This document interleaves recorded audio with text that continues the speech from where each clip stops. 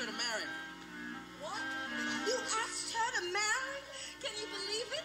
We're getting married. I got down on one knee, embarrassed myself and everything. Congratulations.